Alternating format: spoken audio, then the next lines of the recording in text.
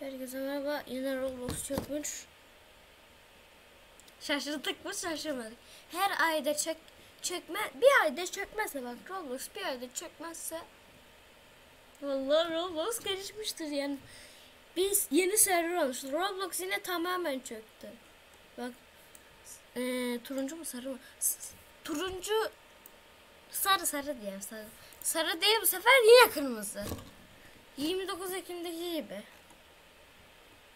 29 Ekim'de daha da kötü olmuştu. Öyle.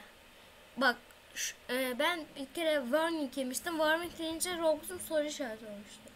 Ve ve Roblox Roblox'un soru işareti olunca e, işte warning yiyordum. Ben de bir girdim. Yani aa, warning aa, bunlar da yüklenmemiş.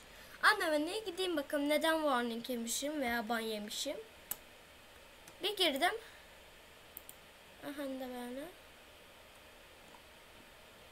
E normal.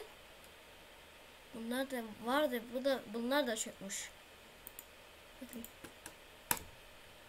E, o zaman warning yememişim. Roblox sitesine bakayım. Bir de üstte şey yazıyor.